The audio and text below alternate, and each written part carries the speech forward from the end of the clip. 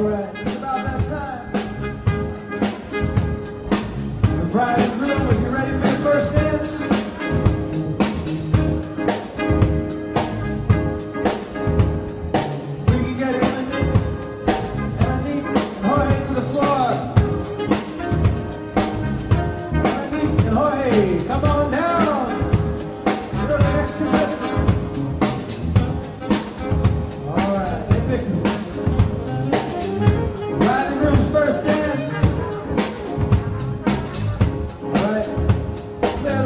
just for a moment.